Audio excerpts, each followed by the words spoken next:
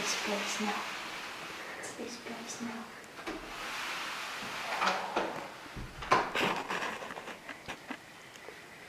This is our home.